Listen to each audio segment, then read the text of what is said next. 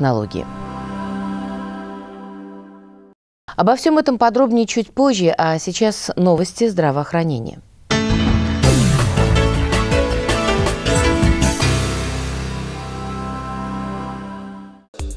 Правительстве области состоялась межведомственная комиссия по вопросам профилактики ВИЧ-инфекции. Было отмечено, что сегодня приостановлен рост распространения заболевания. Тем не менее, Оренбургская область входит в первую десятку регионов страны с самым высоким уровнем заболеваемости ВИЧ, занимает второе место в Приволжском федеральном округе. Зарегистрировано почти 29 тысяч зараженных вирусом иммунодефицита человека. Самые неблагополучные территории – это Орск, Гай, Новотроицк, Оренбург. В последнее время отмечено увеличение числа ВИЧ-инфицированных женщин при обладании полового пути передачи вируса. В настоящее время разрабатываются программы на 2012-2014 годы по профилактике заболевания, мониторингу за ситуацией, созданием условий для паллиативной и хосписной помощи больным СПИДом. Проблема существует, проблема серьезная, э, социальная, очень значимая, и хотя бы еще и по той причине, что все-таки это молодежная прослойка, это будущее нашей страны.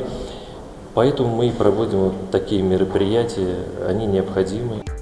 В Министерстве здравоохранения Оренбургской области состоялся брифинг на тему реорганизации медицинских учреждений. На вопросы журналистов ответил заместитель министра здравоохранения области по экономическим вопросам Александр Криволапов. Он сообщил, что согласно новому федеральному закону с 1 января 2012 года изменяется полномочия субъектов Российской Федерации и органов местного самоуправления в сфере охраны здоровья граждан. В настоящее время в Оренбургской области работают 62 государственных и 74 муниципальных лечебных учреждений. С нового года все больницы перейдут в областное подчинение и будут являться государственной собственностью Оренбургской области.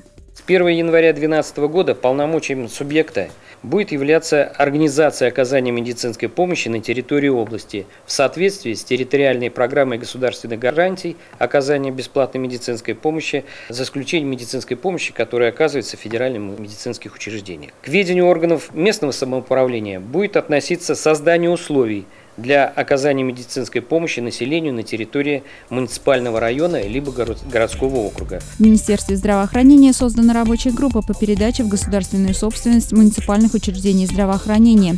Утвержден соответствующий план мероприятий. По мнению специалистов, это позволит усовершенствовать систему финансирования больниц и более эффективно их использовать. Очередное заседание Комитета по здравоохранению Законодательного собрания области было посвящено реализации программы модернизации по выплате дополнительных надбавок медицинским работникам. Сегодня определен перечень, в который вошли узкие специалисты амбулаторно-поликлинического звена. Всего 4425 человек по области. Врачам определены надбавки в 5300 рублей, медсестрам в 2600 рублей. Депутаты предлагают расширить список сотрудников, которым будут выплачивать надбавки по программе модернизации доступности и качества обслуживания нашего населения принимают э, участие все работники лечебного учреждения от регистратуры, от регистратора и заканчивая всех узких специалистов. Поэтому мы должны сегодня определиться, как это правильно сделать, чтобы никого не обидеть.